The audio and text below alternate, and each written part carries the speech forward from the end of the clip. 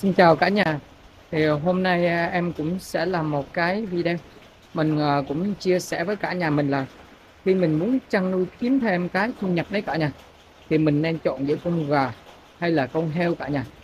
Thì như cả nhà cũng biết trong quá trình mà muốn chăn nuôi đấy để kiếm thu nhập có nhiều anh chị ấy, mình có đủ điều kiện từ nguồn thức ăn à, tới chuồng trại cũng như cái thời gian thì mình có thể nuôi một lúc được hai con.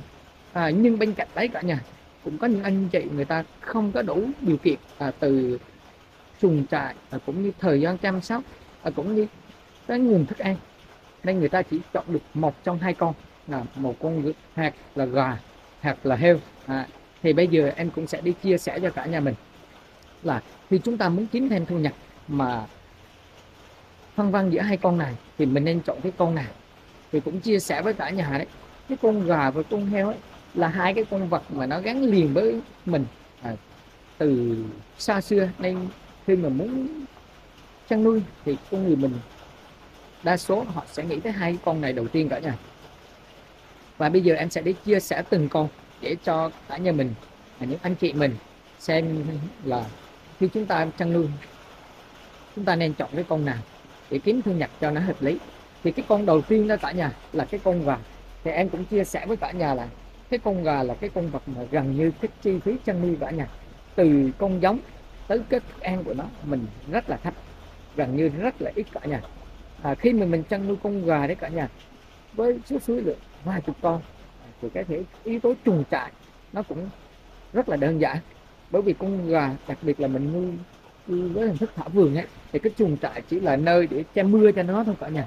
Che mưa che gió và nơi cho nó túi vào nó ngủ thôi nên yếu tố chuồng trại nó rất là ít. Và một cái thứ hai nữa cả nhà cái con gà là gần như cái con vật mà hồi xưa đấy ông bà mình hay nuôi là gần như là để đào sới thức ăn ngoài vườn à, cũng như là ăn những thức ăn thừa của mình. À, thậm chí là ăn những cái thức ăn có sẵn trong gia đình à, như lúa ngô khoai sáng à, chia sẻ với cả nhà là như vậy. Vì những cái con gà là cái con vật mà cái chi phí ban đầu nó rất là thấp nó thích hợp à, cho những anh chị nào mình có nguồn vốn ít à, mình có một cái kinh tế nó không dư dả nhưng mà mình muốn kiếm thêm thu nhập. Thì đây là một cái ưu điểm đầu tiên cả nhà. Và một cái thứ hai nữa cả nhà đó là các sản phẩm từ con gà đấy cả nhà nó rất là đa dụng. Mình có thể lấy thịt của nó hoặc lấy trứng của nó cả nhà tùy vào cái hình thức mình chăn nuôi mà mình sử dụng cho cái bữa ăn hàng ngày của mình được cả nhà giúp mình tiết kiệm đi cái chi phí. Ừ. Giúp mình tiết kiệm cái chi phí ăn uống rất là nhiều. Cũng như mình sản phẩm của nó mình tạo ra đấy cả nhà. Nếu mình sử dụng không hết à, mình cũng có thể là đi bán kiếm tiền à, kiếm thêm cái thu nhập.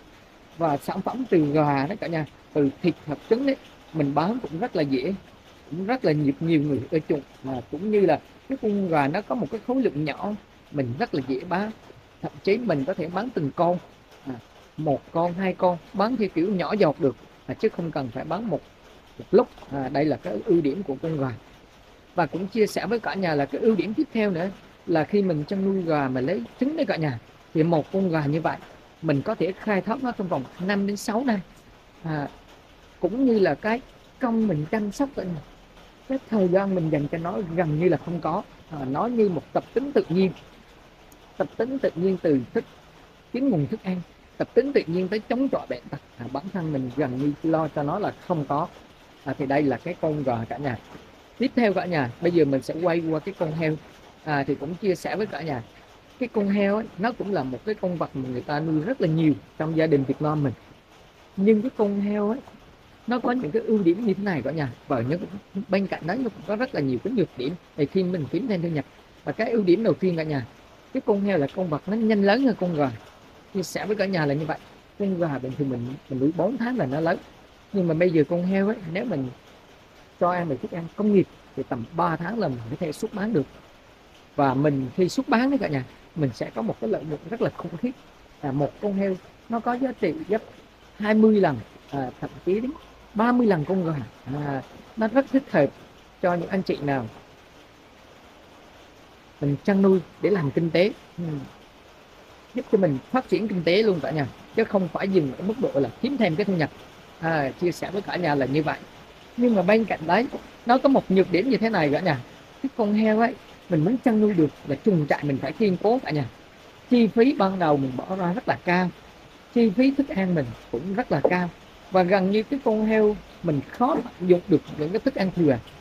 Bởi vì chia sẻ với cả nhà con heo nó ăn rất là nhiều. Cái thức ăn thừa trong gia đình mình thường không đủ đủ cho nó cũng như là nếu mình cho ăn những cái thức ăn thừa đấy cả nhà hoặc là những thức ăn truyền thống của mình có sẵn trong gia đình con heo rất là lâu lớn. À, mà nuôi con heo càng lâu lớn thì cái lợi nhuận nó sẽ càng giảm đi bởi vì cái nó ăn càng ngày càng nhiều. Cộng với cái dịch bệnh à, cái dịch bệnh của con heo nó cũng rất là phức tạp. Mặc dù con heo là cái sức đề kháng nó cao hơn con gà đấy cả nhà nhưng nhưng mà khi mà con heo nó xảy ra sự cố ấy, thì gần như là mình sẽ mất tráng. À, chia sẻ với cả nhà thì như vậy à, cũng như là cái công chăm sóc cái con heo đó cả nhà mình phải tốn nhiều hơn. À, tốn từ công chuồng trại này công dành cho nó này chuồng trại phải sạch sẽ gần như là nó là ở trong cái chuồng. À, thức ăn mình phải tự cung tự cấp cho nó chuồng mình phải dọn cho nó nó không giống như con gà. Con gà mình có thể không cho ăn nếu mình nuôi với số lượng vừa phải vài con để mình cung cấp bữa ăn cho mình thì mình không cần cho ăn luôn nó ra vườn nó đào sới còn cái con heo thì không thể cả nhà. Con heo thì nó ở trong chuồng mình phải tự cung tự cấp cho nó dành thời gian cho nó cả nhà. À, thì đây chính là cái sự khó khăn như vậy. Và một cái nữa cả nhà cái con heo mà khi mình nuôi lên lớn cả nhà cái đầu ra đấy mà nó không có đấy thì mình rất là nguy hiểm. À, mình không thể nào mà ăn thịt một lúc một con heo được. Hoặc thậm chí có ăn thì ăn một con chứ không thể nào ăn hai đến ba con được. Bởi vì khối lượng con heo nó lớn nó không giống với con gà.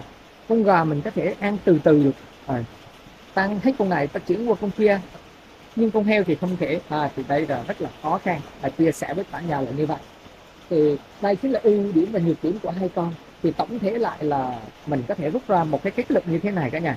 Cái con gà là cái con vật thích hợp nhất cho những người muốn kiếm thêm cái thu nhập mà mình có ít vốn muốn ít công sức cũng như các khai thác của mình vì lâu vì dài. Như con gà đẻ mình có thể khai thác 5 6 năm cũng như là mình sẽ có được cái thu nhập đều hơn ổn định hơn cả nhà. À, còn về cái con heo ấy thì nó không hợp cái kiểu nhỏ lẻ. Nó là thích hợp kiểu kinh tế hơn. À, nó thích hợp kiểu làm giàu hơn cả nhà. Tất nhiên nuôi gà làm giàu cũng được nhưng mình phải nuôi với số lượng nhiều. Một con heo thì nó tương đương với được đến hai ba mươi con gà rồi. À, các anh chị phải như vậy. Nhưng mà cái sức ăn của một con heo lượng thức ăn của một con heo thì nó đủ cung cấp cho cả trăm con gà chia sẻ như thế. Như thế, mình có thể thấy được con heo là phù hợp cho kinh tế hơn, phù hợp để làm kinh tế trọng điểm hơn. Còn con gà là phù hợp cho những anh chị muốn kiếm thêm cái thu nhập. À thì đây là cái chia sẻ của em như vậy. Khi mình chăn nuôi, tùy điều kiện với địa phương mình mà mình có thể chọn cả hai. Còn nếu mình không có điều kiện, mình có thể chọn một trong hai con nhưng theo em nghĩ con gà là thích hợp nhất. Vừa tiết kiệm chi phí chăn nuôi vừa giúp mình có thức ăn trong gia đình cũng như vừa giúp mình có thêm cái thu nhập nhỏ lẻ nhưng rất là khỏe ít thời gian chăm sóc. À, thì đây là cái chia sẻ của em như vậy cả nhà. Em cũng xin kết thúc cái video tại đây cả nhà.